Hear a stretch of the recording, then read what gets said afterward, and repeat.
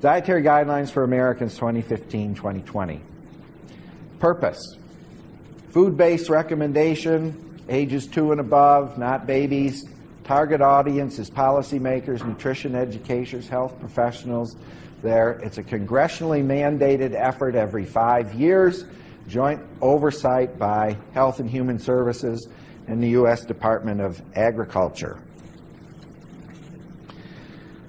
And again, we've talked about this. I mean, this effort is a public health model, not a medical model.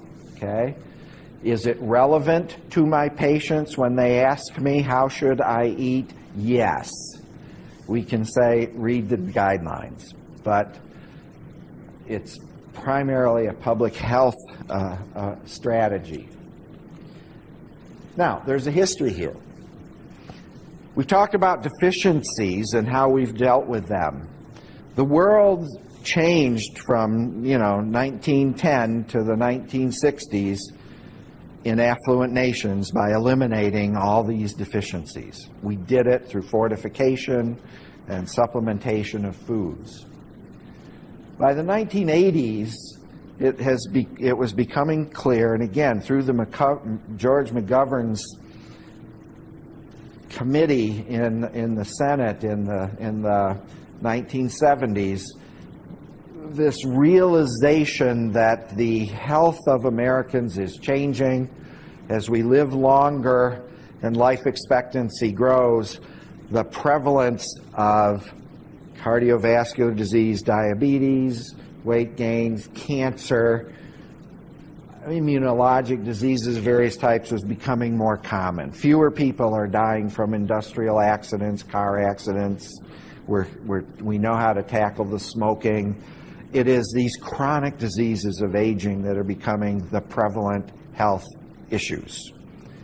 And in 1980, the Dietary Guidelines for America was at this cusp of going from we need to make sure people eat healthy foods to prevent deficiencies to, you know, we got to start thinking about how excesses and the orchestration of our food selection and perhaps our industry is contributing to a toxic food environment.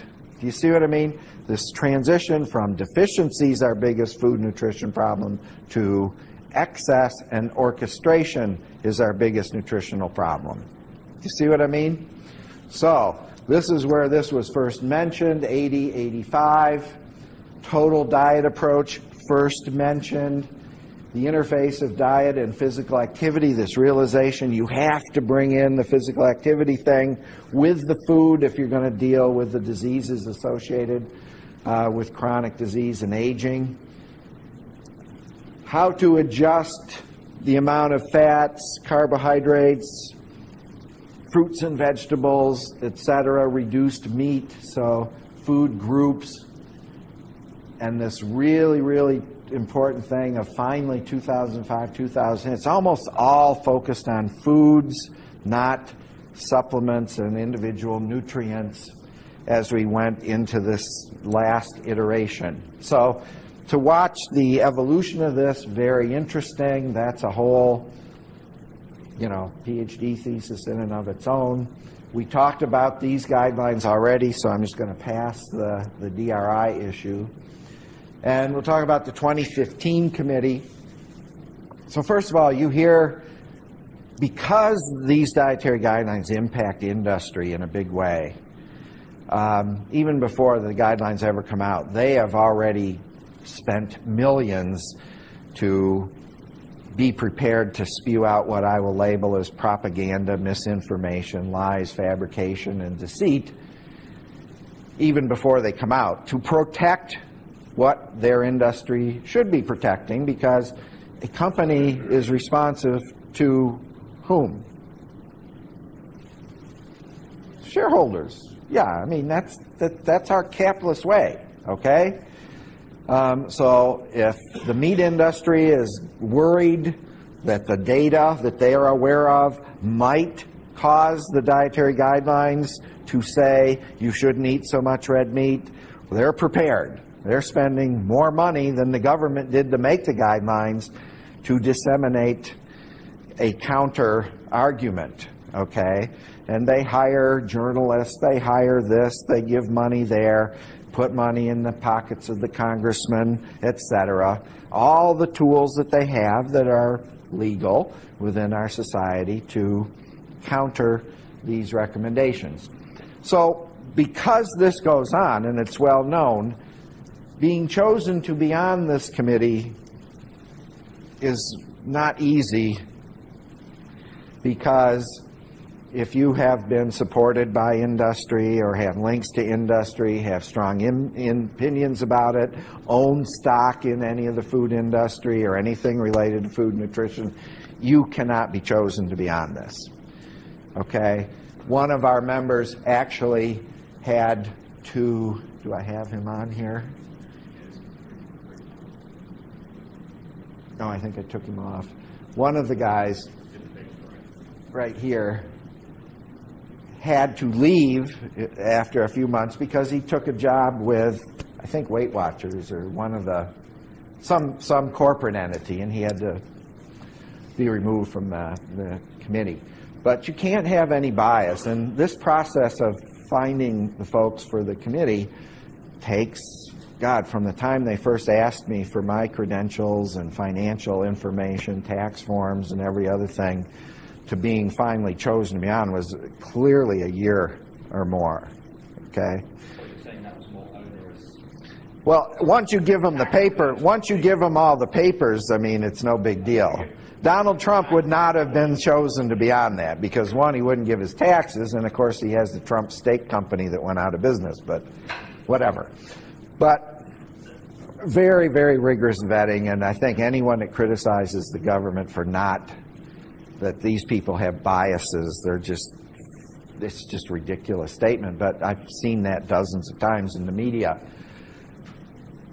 And to be on this with all these great people, it's truly astounding. It's such a great privilege to go there and sit down with these people that work in different aspects of food and nutrition and really hear their input and their discussion, their debate, debate insight.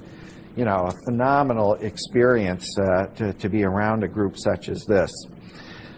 Now, it's, it's fun to just throw in a couple words about what committees are all about. So if Columbus had an advisory committee, not the city, but the Explorer, he would still be at the dock, all right? I've searched all the parks in all the cities and found no statues to committees. All right? If you see a snake, just kill it. Don't appoint a committee on snakes. That's kind of Ross Perot, who ran for president before you were born. The ideal committee is one with me as a chairman and two other members in bed with the flu. So committees are a challenge because you have lots of different opinions about things and you, you, you kind of have to come to consensus, and there is a lot, a lot of effort to go through every nuance of these scientific issues. So the first role of this group is to review the science, and that is informed by systematic reviews using the National Library of Medicine staff. They had 20, 30 people I mean, if we sent them, here is a question. We need to know if the amount of time in front of a computer affects obesity. By the next day, they would have every single paper published on that in front of us. They were that good. And I would get things in the middle of the night from them. You talk about government workers that were committed. These people were phenomenal, okay? After you review all the data, you have to develop what the guidelines are going to be based on the science and nutrition. And this is where, at the end of this, there is a report, the Dietary Guidelines Advisory Committee report. At that point, committee's done. The government takes over, and it is their role to start the implementation of the guidelines. And that means all the educational material, the final wording of the dietary guidelines after Congress had its chance to force them to modify certain statements based on uh, whatever you want to call the lobbying. anyway, so let's kind of go through some of this. Again, you know, this process, this was like two years of work interrupted by another government shutdown on one of our meetings in Washington. Um, the advisory committee begins. We define subgroups of talent to work on specific topics in parallel. And then you work uh, on coming up with the committee's advisory report in 2015, where the government takes over and they write the guidelines into the right language they want to use, and they were released, uh, you know, kind of in January of this year. And then it's up for all the government agencies to implement these findings until the next report comes out, which is the third phase. Uh, this year there were five different subcommittees on various topics. Um, when I went into this, I never would have guessed there would be one on food sustainability. This one caused an enormous amount of controversy. Okay? And when we went into this, I was not thinking this way. This is where the other people on the committee brought me around to this, and it wasn't that hard because when we think about it, we're moving towards a world, you will live in a world with 9 billion people. Okay? That is an awful lot of people. And right now, we do not know how we are going to feed them. We think that you need to switch from primarily saturated fats to a diverse array of unfat saturated fats, and that seafood and fish is a great source of omega 3s. We do not have enough fish to feed you. Okay? So we're getting to the point where the population is large enough that with agriculture in its current state, we are not then able to do it in a sustainable way. So when you get down to this, you want a healthy food pattern, but you can't have a healthy food pattern at the expense of an environment that cannot sustain it. This gets into a lot, uh, again, a whole PhD thesis for a student here would be this issue of is modern nutrition with the amount of red meat that we consume sustainable because of the environmental impacts? I mean, we have to grow 100 acres or some enormous number of grain in order to feed a beef cow through its life to get so many pounds of steak. You see what I mean? This approach may not be sustainable. And in the seafood realm, uh, that's going to be even a bigger challenge. Now, it doesn't mean there aren't ways to come around with that with fish farming and other things, but these recommendations have to be thought through with at least some cognition of sustainability. Yeah, I guess my question is also. It's recognized that America's dietary guidelines are used as a foundation by nations around the world who do not want to spend the money to go through this process. Um, and I think there are people, and I think all of us to some degree realize that in the modern world that is shrinking, we are part of one environment. And just like global warming and fossil fuels, these are things that transcend our borders and that it's worth thinking about. Yeah, go ahead. Um, was it up to the committee to decide these subcommittees? Yes. Or Yes. So you, you sit down there and the first thing you do is go through what are the lists of topics that every member wants to throw onto the table that are important. Can we put these into categories? Okay. Within the categories, then, we, you know, we may have had, you know, say on this one, where I had a lot to do with the cancer part, I mean, we probably had 200 different topics listed. Then we had to say, we can't do all of these, prioritize, and we're going to do systematic reviews down to about here. And you eliminated the ones where we thought there would not be substantial enough data to be able to use. Or it could be that some other organization just did a big systematic review and you can borrow it. Why do another one three months after somebody else did a high quality report? Do you see what I mean? So you prioritize because you know you got two years, you got to get this out the door. You're not going to be able to do everything. You have to prioritize and come up with the things you think are the most impactful. But in the end, they fit to these things. Was there institutional memory to? Yes. so the beauty of the committee, they, they're very, they do this in a very nice way.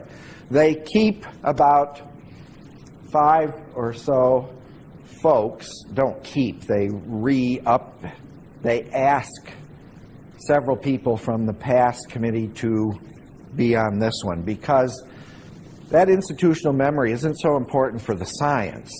It's important for the process. If you've been through it, the person that was on it last time will be chairman of this committee. They know how to make things move along so that you get done on time. You need that memory of process, not so much memory of the facts. And so that was extremely valuable to have five people that have done this before. Okay? Really, really valuable. And then there are working writing groups on certain things that, that I listed at the bottom that just simply transcended everything. These four groups were thought to be so important that transcended every subcommittee that uh, people worked on together. So this report, which you can get at the, the website here, and here's the outline of it. Um, and you can see what the scientific report, it's very structured, very dry. You're never going to sit down and read this whole thing. And if you want to go to sleep at night, I mean, start reading it. This is a technical document okay? But the, the references are there, the evidence is there. It, this is where the data is, okay? And um, a couple other things that were very helpful. So I talked about the National Library of Medicine, their beautiful systematic reviews. Then we worked with the USDA and did what are called food pattern modeling. So these are big computer programs now to say, if these are going to be our recommendations, and we say, well, you need to reduce this amount of, say, dairy products, well, they have to do a whole modeling thing to make sure that if we do that, you're still getting enough vitamin D and calcium. Even if we're recommending reducing the amount of whole milk that gives you saturated fats. Do you see what I mean? Because in the end, you have to come up with a whole model that's an orchestration that meets all the goals. And this is where the, well, I won't use any insulting terms, but the representative of the national eat sugar industry, okay, is all up in arms, goes out and gives all these talks about, well, how did they come up with 10% sugar as being allowable? They didn't even talk about it to the last two weeks of the thing. It was just ranting and raving about sugar. And I want you to know this is Diet Coke, just not, I don't, no sugar sweetened beverages. But it came out of food pattern modeling why you cannot have more than 10% of sugar in the DGA, Dietary Guidelines for American. It came out of modeling because if you look at all the recommendations, in order to meet all those recommendations, that is going to require 90% of your diet. okay? Fruits, vegetables, dairy, protein, grains, legumes, etc. All that is left for discretionary sugar intake, if you want to have sugar, is 10% of your calories. Okay? It's all that's left. So the sugar industry thinks that you should be doing a study to figure out the optimal amount of sugar in your diet. That's ridiculous. There is no such thing. Do you see what I mean? Well, let's go back to your starting point of Yeah. nutrient. So sugar is a nutrient.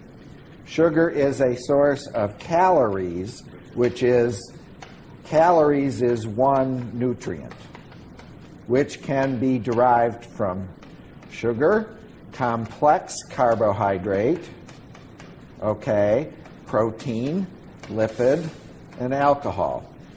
So, sugar, meaning the simple sugar, can contribute calories and should not contribute more than 10% of the diet. Okay? You don't need sugar, it's not a nutrient per se. Energy is, and it can come from sugar.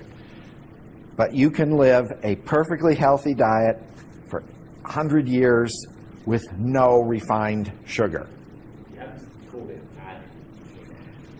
I said with no refined. Added sugar is a food processing exercise. It's a food where sugar, which is refined, is then put into the food. Okay? I mean, Coca Cola, Pepsi are not, you don't, you don't go out and harvest them off a vine. Okay? They are man made water, sugar, color, and flavor. And free sugar is a big problem. Okay? It's a big problem. And you're never going to define an optimal amount, but it, it's, it's just funny how the industry really is going after this 10% number and say, oh, that's ridiculous. There's no evidence to say that's the optimal amount of sugar. And that's right. That is just simply telling Americans you have 10% of your calories that are discretionary. And if you want to have a Hershey's chocolate bar full of sugar, there's your 10% right there. If you want it to be sugar sweetened beverage, 10% right there. But the rest of your diet has got to meet all these other things. And if you go to, you know, where, where did they sell those big gulp 7 uh, you know, 36 ounce sugar sweetened beverages? My God, that's your two week supply of sugar right there. If you're eating that, you cannot meet the other guidelines. You just can't. So, evidence review, we've talked about that. I'm not going to say anything more. Key concept of what systematic reviews are. Um, you know, you review thousands of papers, you extract the data, look at the quality, combine the data, discuss the findings, and ultimately come up with kind of a summary of what those are. Um, there's a lot we could say about systematic reviews. Uh, then we have an evidence uh, and implication. So you review the evidence and you make a conclusion, which is meant to be an objective statement. And then you talk about the implications. What would those implement?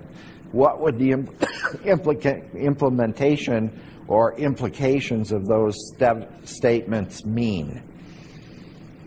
Um, and frankly, if you look at that report that I tell you will put you to sleep, you can see that this review of data is rigorous, transparent, and minimizes bias. And not only is the document that you can read a summary of all this, there are web pages that will take you to all the systematic reviews. You can go and look at all of this data. It's an enormous amount of information if you really wanted to dig into it. Um, I've said a lot about the nutrition evidence library process.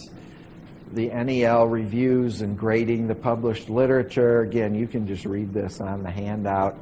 Um, you know, as to how we grade it from strong, moderate, limited, or not assignable. And for some things, like the question of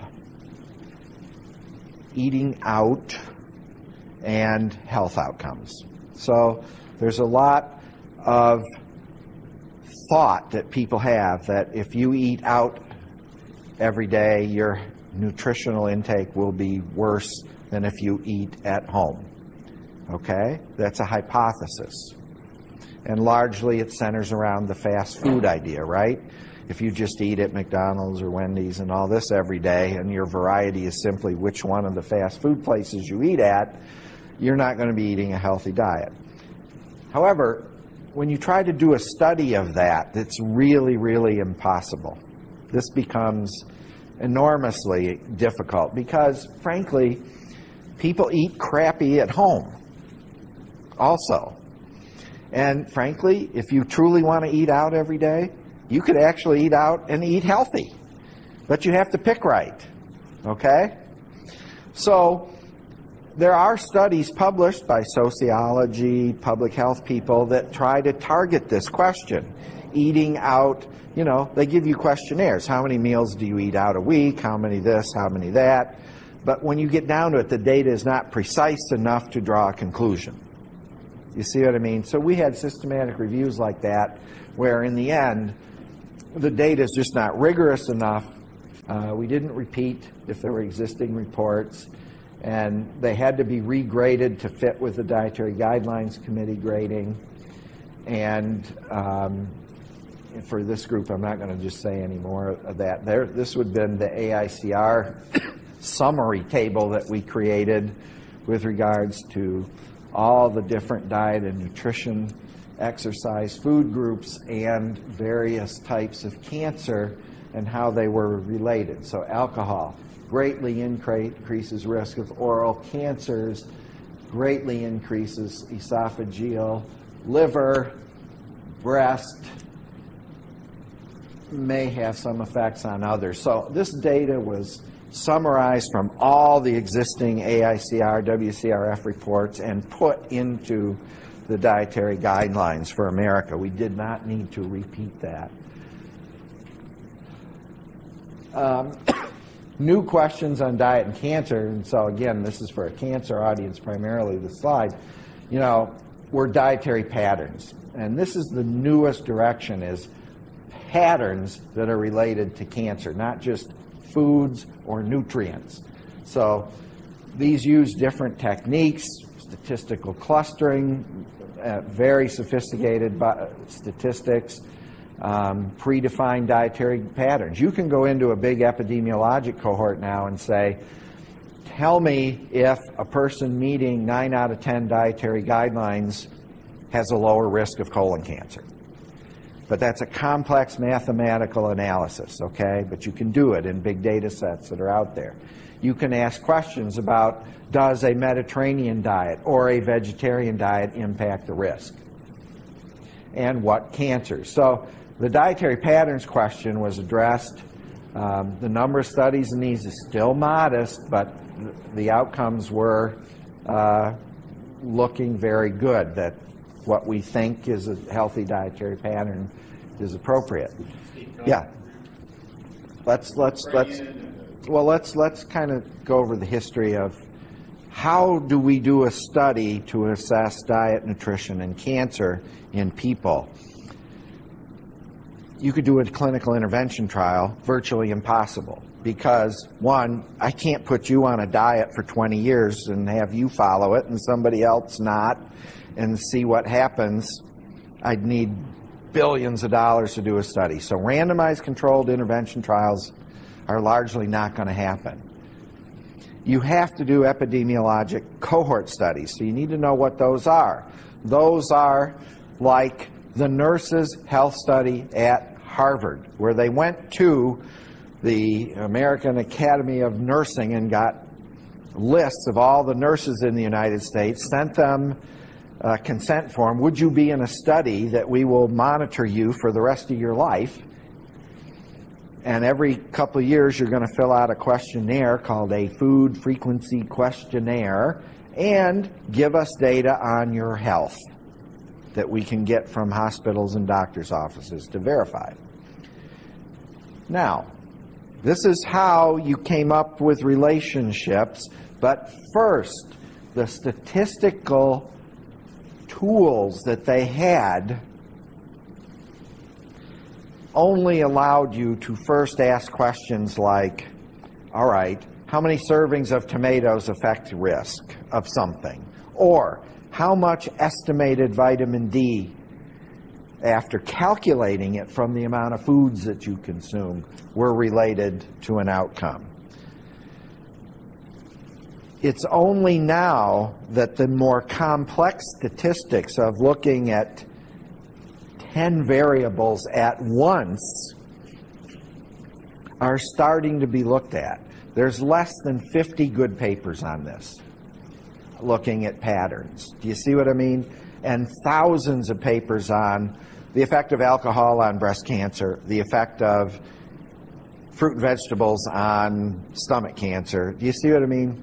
It's very easy. There's emerging critical mass around these Yes. Patterns. Mediterranean. Yes. Enough papers that are Yes. root diets. Yes. However, the labels, as you know, are vague. You can have a study done in one place where they define Mediterranean one way, and then a Mediterranean pattern could be defined by another investigator a different way, because that word is vague. So that, that's why this is an emerging, dynamic, conceptual direction for the future that's going to be very, very important, I think. Because it really gets down to the question of the whole pattern, not, you know, eat pomegranate juice and you won't have a heart attack when you're 45. You see what I mean? So, data analysis, there's a lot of data analysis. You can just read this stuff. Um, all the data is available, and you can get them uh, at the websites. So, key elements of the healthy eating patterns. And the guidelines are in your handout. You can read these. A lot of them are things that make a lot of sense, very common sense. But remember, they're public health guidelines for the whole nation. And so, relates to following a pattern across the lifespan, variety, nutrient density. That's the opposite of sugar sweetened beverage. That is a nutrient undensed food. It has no nutrients in it other than calories. So you want foods that have many nutrients in them um, for the amount of calories you consume. So limit calories from added sugars and saturated fats, reduce sodium intake. Americans have a sodium intake of about 4,000 to 4,500 milligrams a day.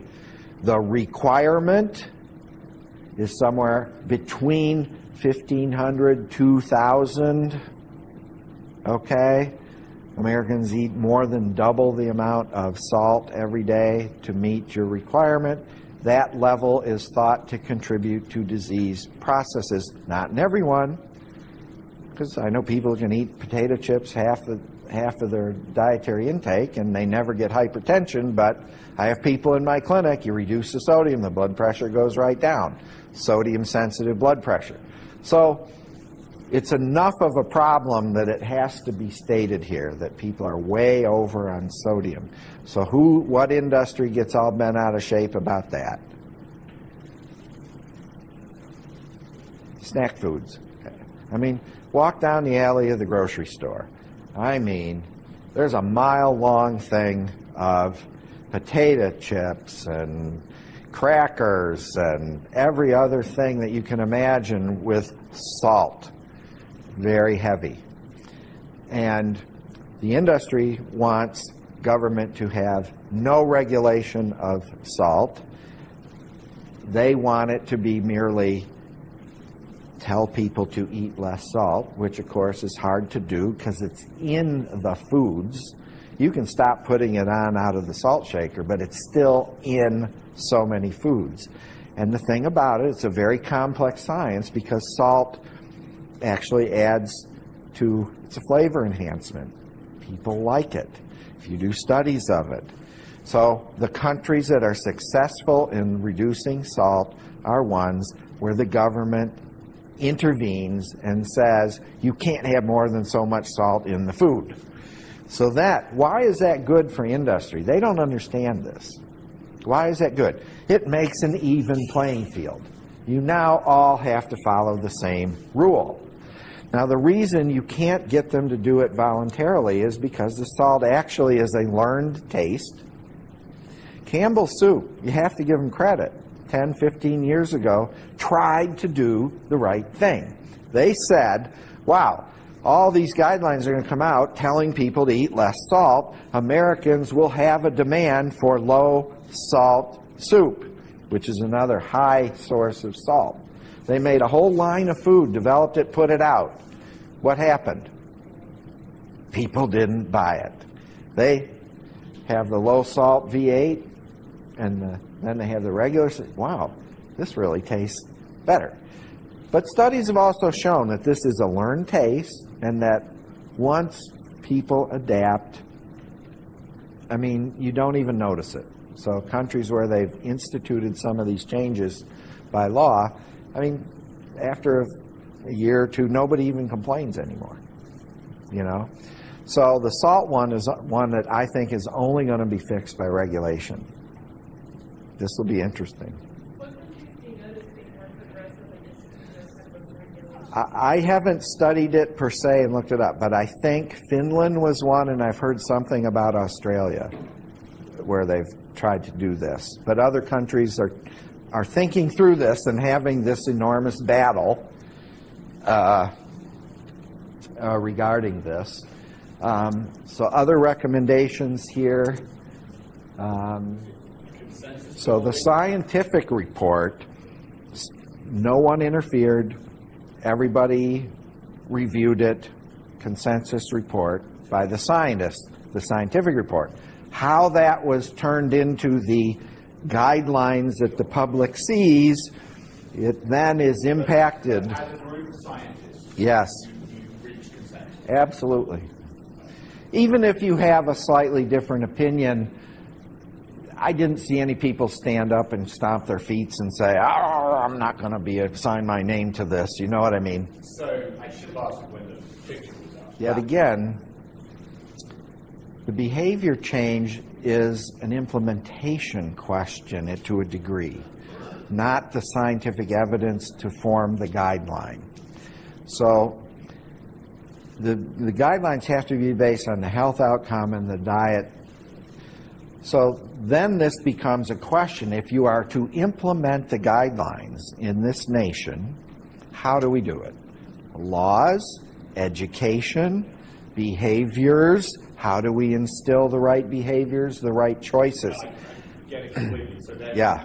Connect, because this is what is Oh, I think in the future, you should get more of that in, but it won't happen on the committee, but it won't happen because Congress is going to ban that because the industry doesn't want that.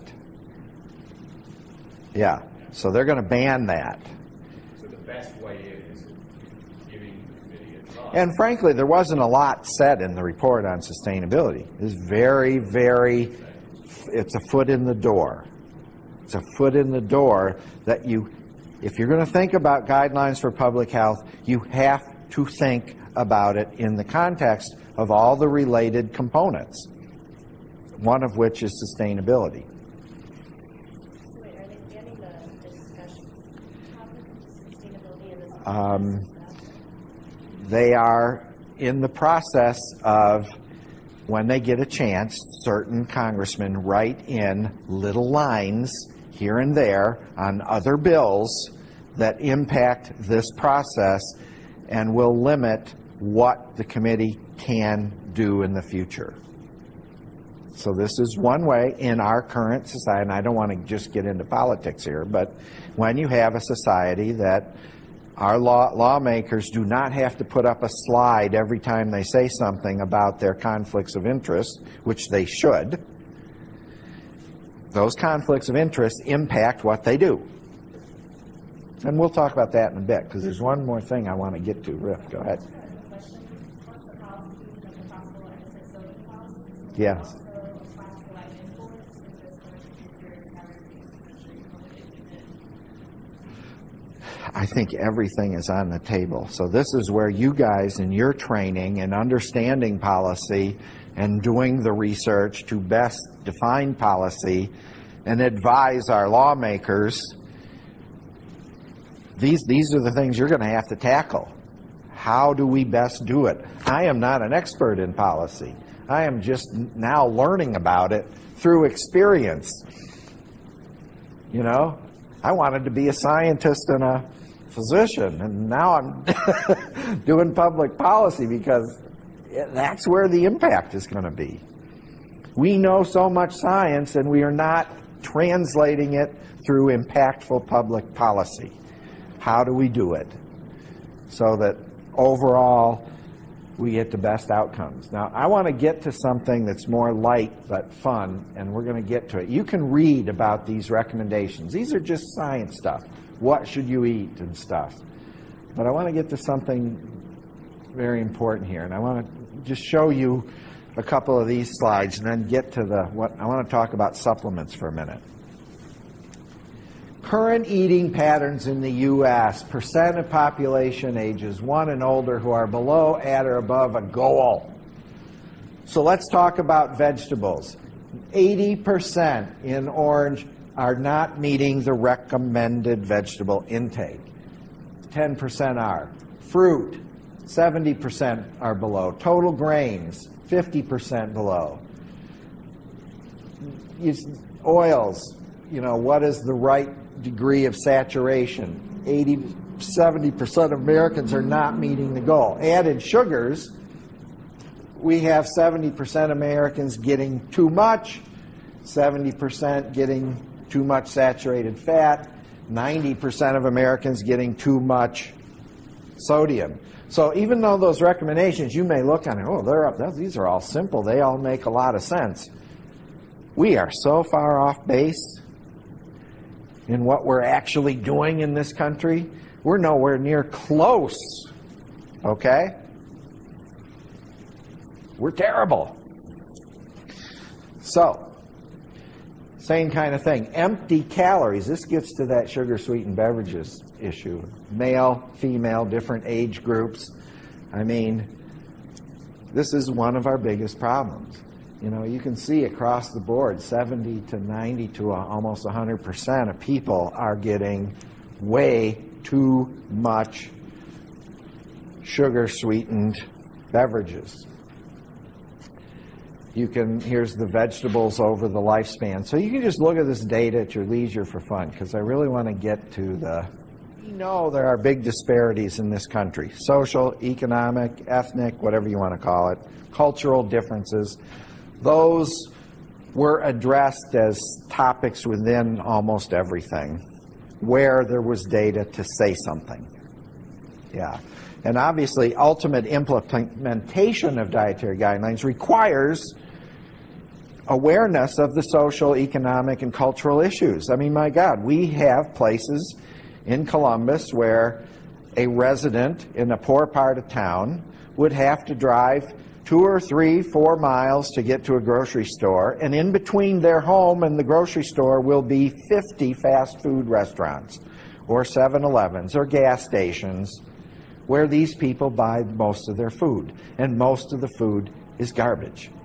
Okay? I don't want to say that, that's overstating it. But most of their, they are restricted in their ability to buy affordable, healthy food. That is a problem. There are counties in, in Ohio who, where there is no grocery store. In my neighborhood, in Dublin, you know, I can't go half a mile without having the choice of every damn food on earth, okay, at an exorbitant price. You can get a broccoli stick in water at Whole Foods for like 10 bucks. You know, broccoli, broccoli infused water. I mean, holy smokes. I mean, you can do that just by putting a dollar's worth of broccoli on your steamer and drinking the water. Um, but anyway, uh, A lot of cultural, social issues, food insecurity, how we're going to, you know, make some of these goals on implementation are a big issue, and it depends on Washington. Um, implementing through the MyPlate program, this is a computer-based effort, great tool that you can work with with apps and stuff on smartphones uh, to help, but people, by and large, need education to do this. How are we going to provide that in our schools or other, other ways to, to, to make this work? And I won't say anything more other than this one slide that sustainability was brought up in this, caused a lot of controversy. And uh, people who think they know everything are a great annoyance to those of us who do.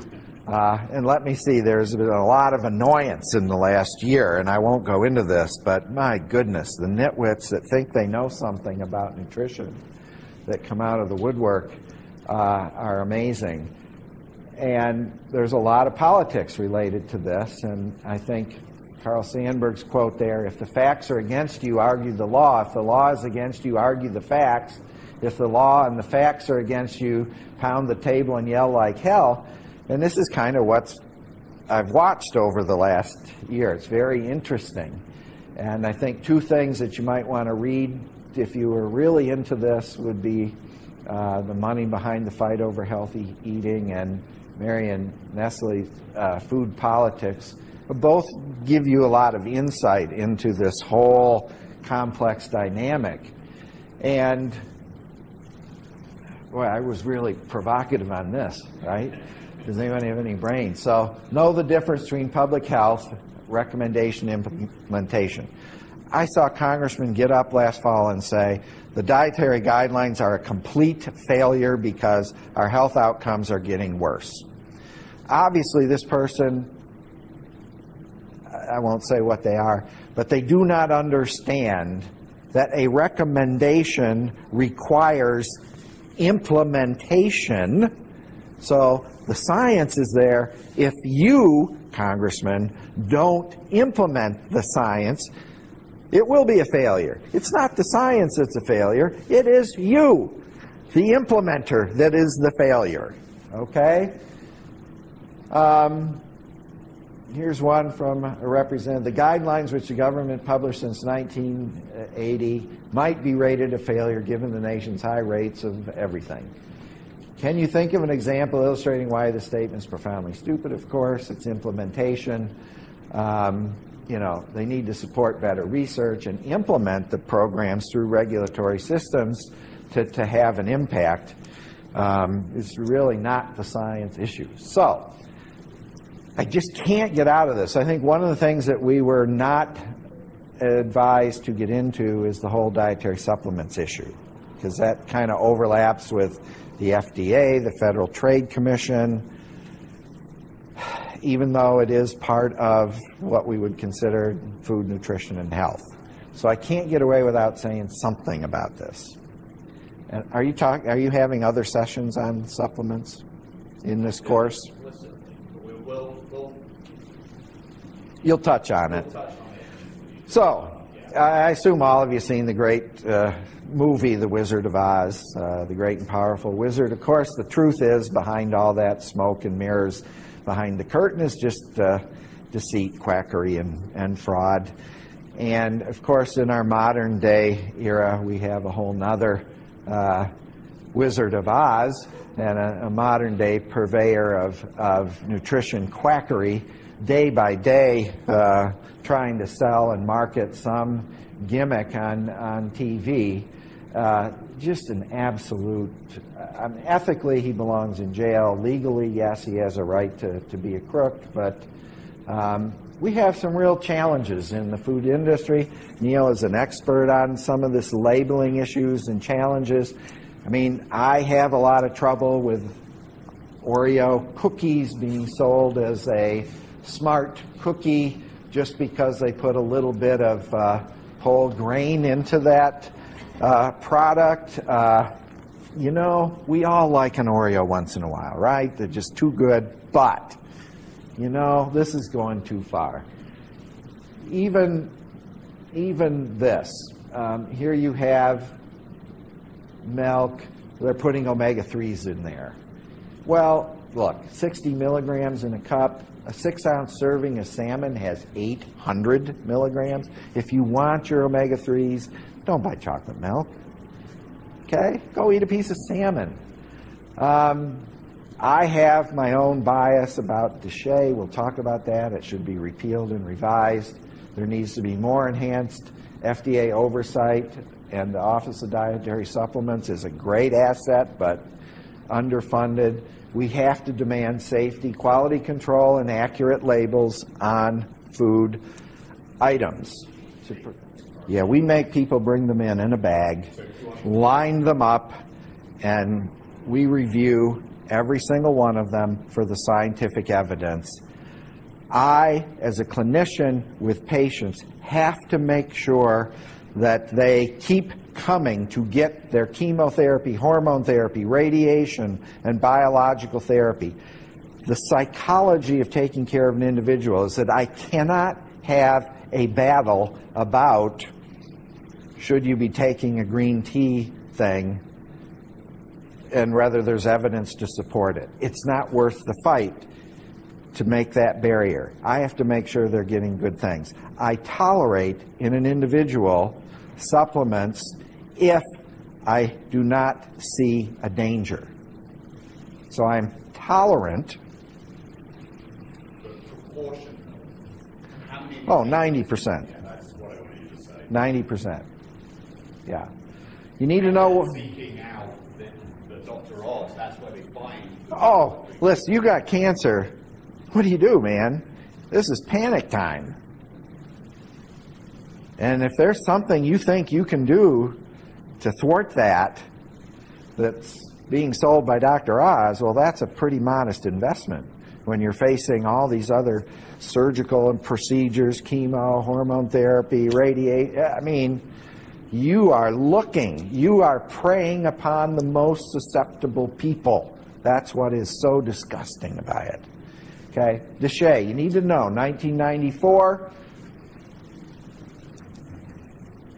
this law was put into effect in large part by something I had something to do with, and I'm going to digress to a very brief little story. This is my wedding day. No, day before.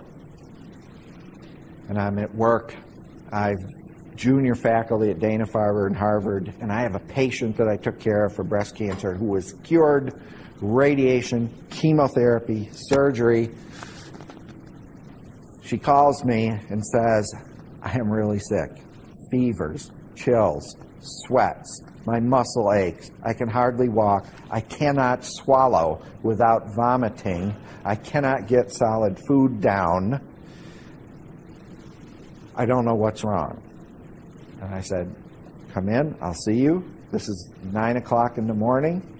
Rehearsal dinner and all that stuff is the end of the day. She comes in. I greet her in the waiting room. She can't walk. I had to get a wheelchair. She's only 42 years old. Take her to the exam room. Fever 203. She's red. I, I kind of was looking at the breast where we had the, the cancer removed. It was literally like wood.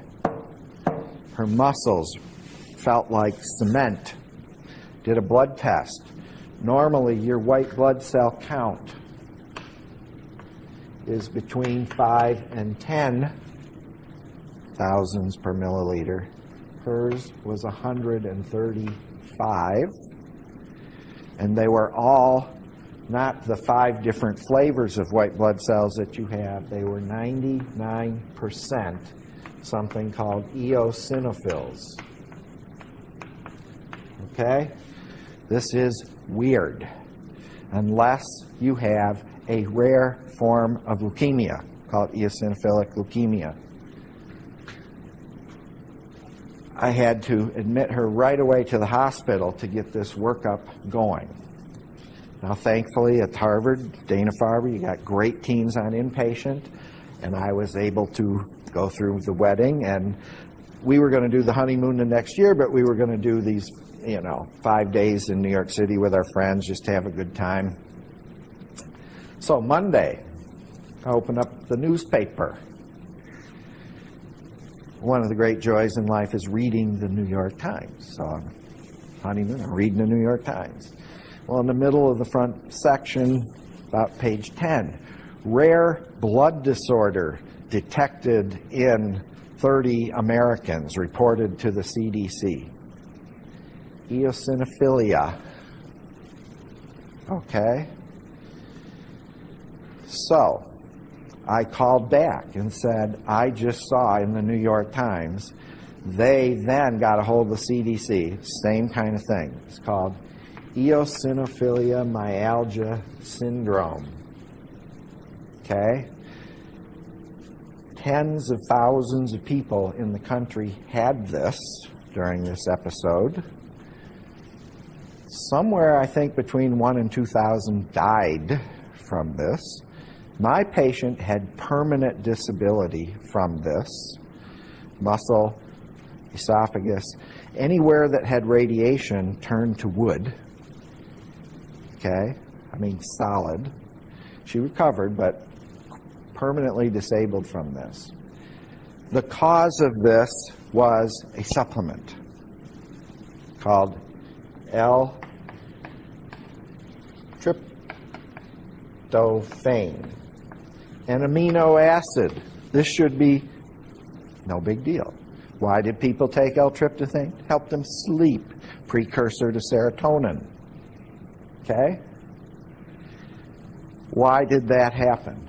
Well, the manufacturer in Japan wasn't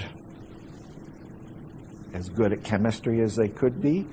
There were microcontaminants of dimers of this amino acid in there, a very foreign and toxic compound.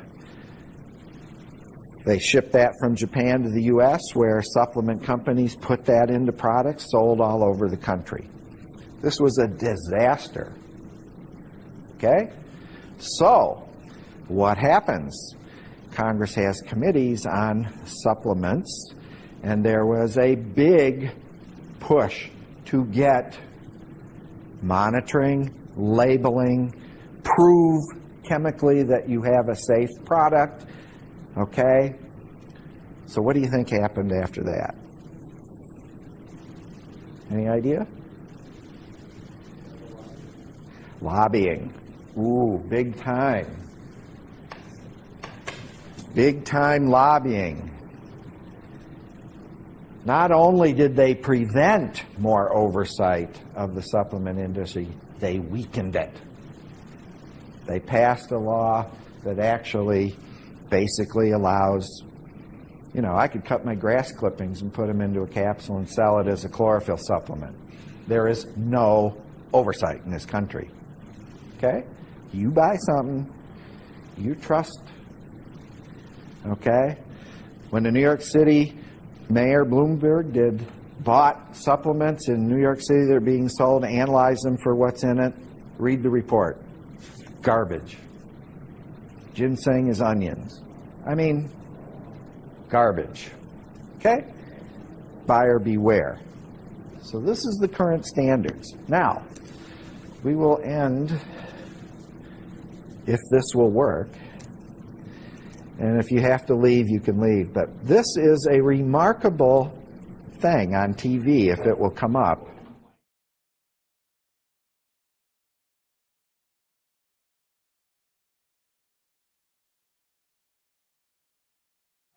Well, it, it's what he's talking about. That's, that's, it's astounding how they nailed this on that show. So we can do more questions, and then you can